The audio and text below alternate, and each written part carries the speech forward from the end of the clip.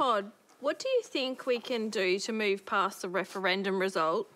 And is it possible for a treaty? Uh, thank you for your question. Um, I, um, to, get to, to get to your answer, I need, I need to contextualise it in where we are now in Australia, uh, particularly after a no vote. Um, and to do that, I want to walk you through what it was like for me. So before I left my house, I live in the seat of Melbourne. Um, I was wearing an always was, always will be Aboriginal jumper on. I think we've all seen them. Um, and I looked in the mirror and I took it off. And I didn't want to be identifiable in the line. It was the first time I ever voted in Australia where I was like, I just want to disappear. I don't want anybody to know who or what I am. And I got home feeling a bit down from that experience. Um, and then a friend texted me later that evening saying, I'm sorry.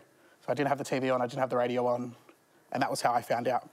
Um, I felt numbness for the very first time in my life. I walked around my apartment um, shell shocked for about three or four hours. I couldn't form a word, I couldn't form a sentence, I couldn't understand what had just happened. Um, and over the next four days, I remained in that apartment. I didn't want to leave the door. Like, I didn't want to go outside. Um, I live in an area where, you know, it's, I'm identifiable, and I just didn't want to, I just didn't want to have a bar of it. And I wasn't alone in that experience. Many of my friends and family who are Aboriginal went through that very same experience, that we felt utterly rejected. We felt the shame of that rejection. And when the shame set in, maybe day three or four, that we dared to ask Australia a very, very modest ask, it was very overwhelming. That shame, I think, has really uh, been felt right across many Aboriginal communities right across Australia. Um, and we went into then a, a, week of silence, and that week really was to mourn decades, decades of hard work, to mourn leaders like Marcia and Noel and others who had put their heart, soul, and entire life on the line for this. And I had to watch Marcia on the TV the next day get up and pretend like it didn't happen. And that was gut wrenching um, to see. And what we're seeing now, particularly, you know, uh, when what we're hearing are these stories of, you know, I, I, was recently talking with a grandmother and she told me about the story that of her her vote. And what she did was she took her grandkids with, they went to their, their grandkids' school, public school, to vote.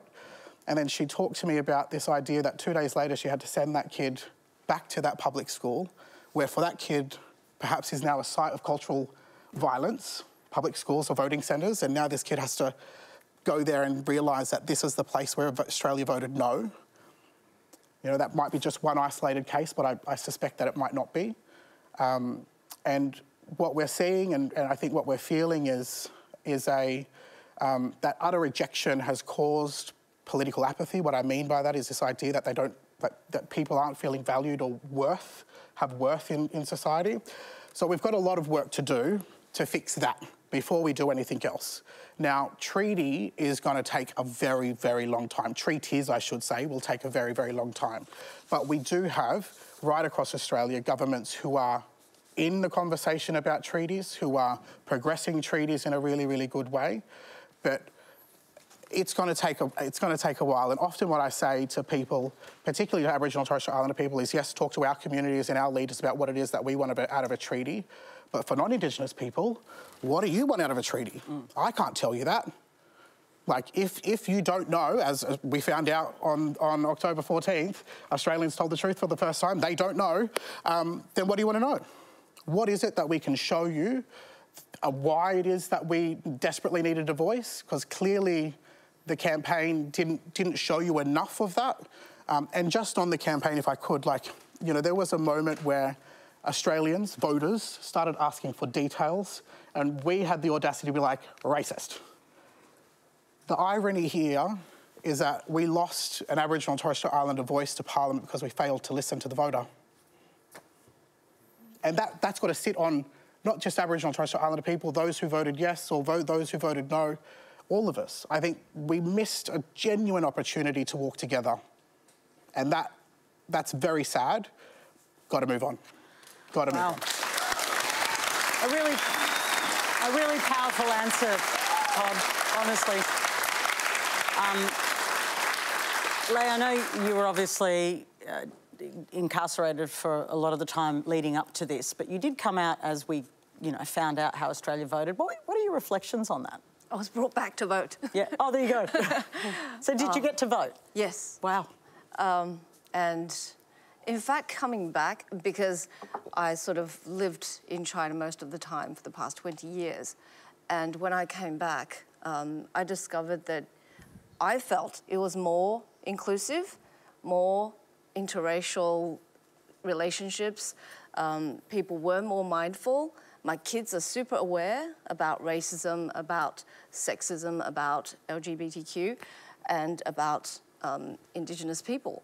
So, to me, I'm not as obviously not as despairing as um, as Todd, and I just think we stop whinging and start fixing. You and think- like um, Charlotte is with Hilma's network? So, you think work can be done still in this area? Not all is lost? I totally believe it.